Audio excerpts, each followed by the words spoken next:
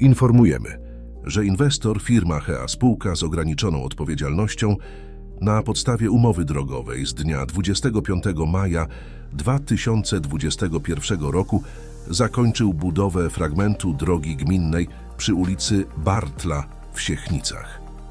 Gmina Siechnice przekazała nieodpłatnie pas drogowy w celu realizacji tej inwestycji. Zgodnie z zapisami umowy, po zakończeniu budowy inwestor przekaże na własność gminy wyżej wymienioną drogę, również nieodpłatnie.